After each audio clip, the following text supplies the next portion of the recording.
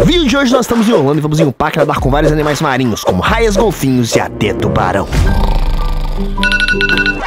Eu coloquei o celular pra despertar extremamente cedo. Porque pra fazer esse passeio a gente vai ter que ir em um parque um pouquinho longe de onde a gente tá. E pelo visto, como sempre, a minha não acordou. Mas eu sei exatamente o que eu posso fazer pra ela acordar. Bom dia! Troca de roupa e bora! Esse aqui é o quarto do Piel. Parece que ele também tá dormindo. Piel, Piel, tô com seu celular aqui. Você não vai acordar, não? Eu não Você quer, você quer o celular? Você vai ter que vir pegar. Quer? Não, Ronaldinho, não, não faz isso. Pra você despertar, se você quiser, vai ter que pegar. Você é maluco? Aqui, ó, é o quarto do Thiago. Bom dia. Mano, não acredito que você me acordou molhando a minha cama inteira. Agora que eu já acordei todos os meus amigos, vamos em direção ao parque. A viagem foi longa, demoramos aproximadamente 40 minutos pra chegar no parque. Esse parque chama Discovery Cove e eu não vou mentir que eu tô com um pouquinho de frio na barriga. Já logo na entrada do parque a gente consegue ver, ó, uma super piscina de água natural com várias pessoas nadando. E parece que essa piscina se estende por todo o parque. Hoje tá fazendo muito calor e eu não gosto muito de passar protetor solar. Então eu decidi comprar uma camisa, que é essas com proteção UV, pra eu poder passar o resto do dia no parque sem me preocupar com o sol. Quem aí anima a mergulhar com golfinho comigo? É melhor eu ficar só gravando hoje, eu tô com um pouquinho de medo. Mano, golfinho é primo de tubarão e eu tô fora. Ai, Renaldinho, eu tô meio que muito animada. É claro que eu não vou perder uma oportunidade dessas. Pra nadar com eles, parece que a gente precisa usar uma roupa especial. No caso, pra mim, eu vou usar esse colete aqui, que eu não sei se é um colete salva-vidas, mas é obrigatório nadar com isso. Ai, eu já peguei meu coletinho também. Eu tô muito animada. Chegou o momento da gente poder nadar com os golfinhos e a gente tá usando um microfone de lapela pra poder falar um pouquinho mais perto. Mas em determinado momento a gente vai ter que tirar todo o equipamento pra poder nadar com os bichinhos, mas a gente vai tentar mostrar o máximo pra vocês. Ah. Ai, eu tô com medo. O nome da primeira golfinha, porque todas as golfinhas aqui são fêmeas, trazer é a Roxy. Ei, Roxy. Ah, Ela tem 25 anos de idade, você acredita? Mais velha que você. Caramba. O Brian acabou de falar com a gente que a gente pode fazer carinho no golfinho, só que, ó, essa área aqui é onde ela respira, que é esse buraco. Então a gente não pode tocar nesse buraco. E o olho também, porque nem- ninguém gosta de carinho no olho, né? Dolphins breathe air from their blowholes. Just like you and I breathe from our nose and our mouth, they only breathe from this area, like this. Se a gente faz isso aqui, parece que ele canta.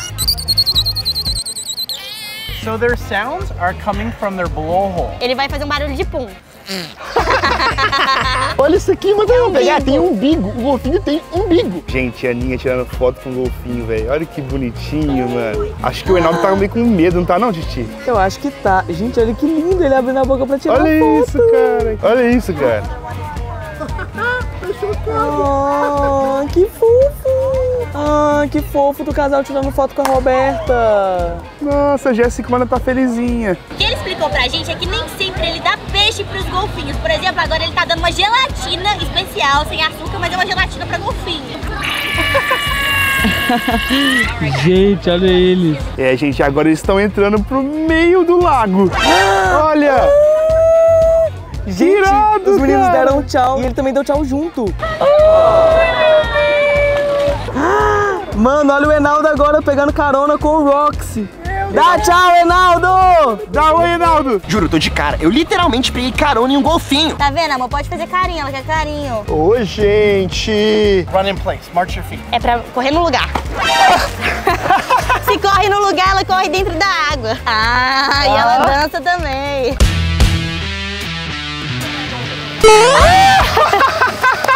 Ai, que legal! Ela é muito inteligente. Eu tô de cara, mano. Eu tô de cara. Eu tô de cara. Vai, Rox, eu Vai, tô Roxy, torcendo. você consegue, Roxy. Vai, Vai, vai, Roxy, vai. vai, Roxy. Nossa senhora! Caramba! Mano!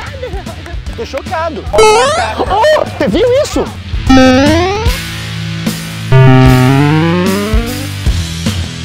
Tchau, Roxy! Tchau. Tchau, Roxy, tchau!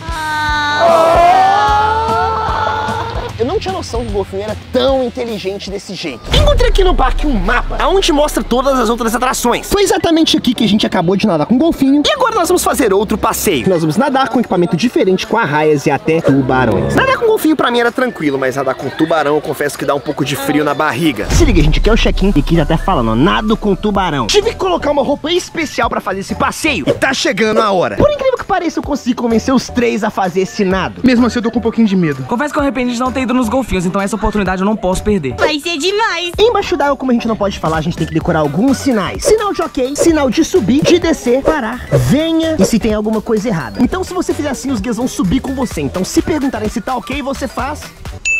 Esses são os capacetes que a gente vai fazer o mergulho, que são os capacetes que parecem até de filme, meio que de astronauta. Cada capacete é numerado e é por essa cordinha que a gente vai respirar. Tem uma base ali assim, ó, que fica com oxigênio. E me falaram que esses capacetes são extremamente pesados. É um mergulho diferente de snorkel, então a gente não pode sair nadando, não tem pé de pato. Eles são pesados justamente pra pesar e a gente conseguir andar na água sem que a gente fique flutuando. Tá chegando a hora, gente. Nesse primeiro momento eu fiquei um pouco chocado de como é que a máscara funcionava. Ela era bem pesada e não tava entendendo nada que tava acontecendo. Logo depois de mim, a Aninha foi a próxima que desceu na água. Gente, eu consegui pegar um pra dentro da máscara. Eu vou falar debaixo da água e depois vou dublar. Então não reparem se a minha voz ficar um pouco estranha. Olha só, gente, o Thiago também desceu e pelo visto tá tudo ok. Por último, a última pessoa que desceu foi o Biel. Como vocês podem ver, essas mangueiras que levam oxigênio pros nossos capacetes. E eu tô morrendo de sonho em pular em algum peixe. A minha ganhadora tem uma plaquinha e ela fica escrevendo algumas coisas pra gente ler. Observe e me siga. Vamos encontrar os tubarões.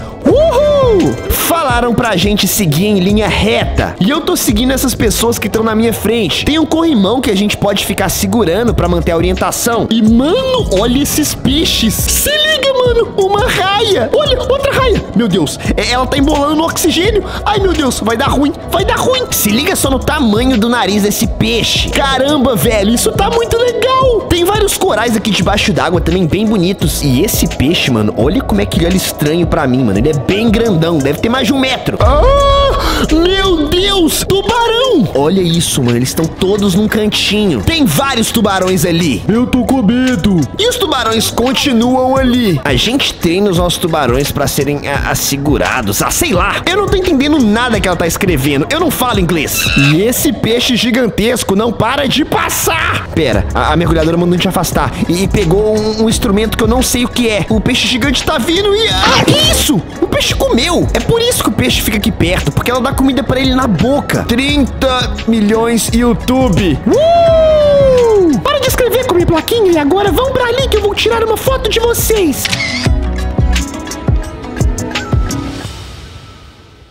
Olha só, mano, outro tipo de tubarão, só que dessa vez eles estão nadando. Olha isso, mano, eles são gigantes. Oh, ah, ah, olha isso, mano, olha o tamanho dessa raia. Eu nunca vi uma raia de baixo pra cima desse jeito. Olha só esse peixe, mano, ele parece uma pedra de tão grande. Ele tá chegando muito perto. A Aninha sem entender nada. Ah lá, ah lá. O instrutor colocou alguma coisa na mão da Aninha, mano. Olha isso, eu não sei que bicho que é esse. Ah, ah, ele tá querendo colocar na- na- na- na- Colocou, colocou na minha mão. Olha isso, velho, que doideira. Parece uma bola de espinho. E agora ele, ele me deu uma pedra com um caramujo. Olha isso, velho. É, pelo menos eu acho que é um caramujo, né? Olha só o Thiago. O Thiago e o Biel estão sem entender nada que tá acontecendo. Olha isso, mano, do nada. Tá tendo uma chuva de peixe. Os peixes estão desordenados. É muito peixe, mano. Olha isso.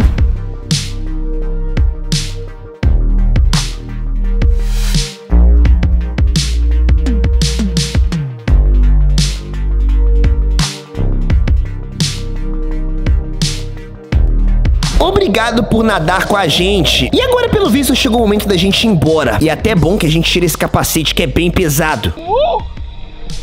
Meu Deus. Quando você tá debaixo d'água, acho que pra nossa segurança, tem dois aquários. Um que fica os tubarões e o outro que fica os humanos com os outros peixes. Foi uma experiência incrível. E a nossa guia deu pra gente simplesmente um dente de arraia. E eu tô de cara, mano, isso aqui é muito curioso. E por incrível que pareça, essa parte que tem essas ranhuras, supostamente são os dentes, ficam pra dentro. E o dente mesmo é essa parte lisa gigantesca. Além de todos os animais marinhos que a gente viu, nesse parque, vários pássaros ficam voando perto da gente o tempo todo, olha. Ei, amigão. Sem sombra de dúvidas, vir nesse parque foi uma das experiências mais insanas de toda a minha vida. E esse foi o vídeo. Se você gostou, deixa o seu like e se inscreve no canal.